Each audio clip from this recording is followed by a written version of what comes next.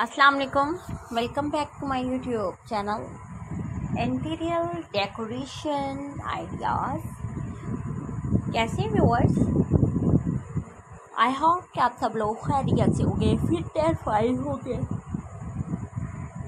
अल्लाह पाक आपको खुश रखे, आपको अपने हिफ्ज़ ईमान में रखे। एक अच्छी सी दवा के साथ वीडियो का आगाज़ करते हैं। आज की वीडियो में आपको बैलून्स डेकोरेशन देखने को मिलेंगे। आप देख सकते हैं कलरफुल बैलून्स के साथ बहुत ही प्यारी सी डेकोरेशन की गई है।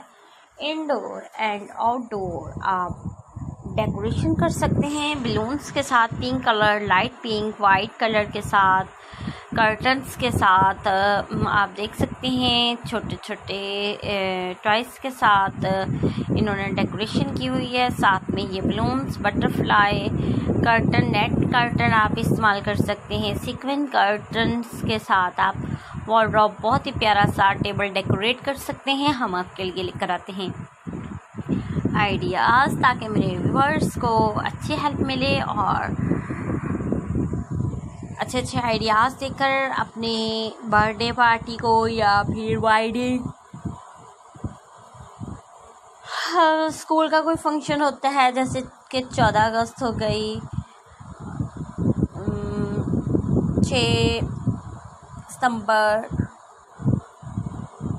तेईस सितंबर, तेईस मार्च, इसी तरह के पाकिस्तानी डेज़ होते हैं, जिनमें हम डेकोरेशन करते हैं स्कूल फ़ंक्शन करते हैं बच्चों के फ़ंक्शन सेलिब्रेट किए जाते हैं।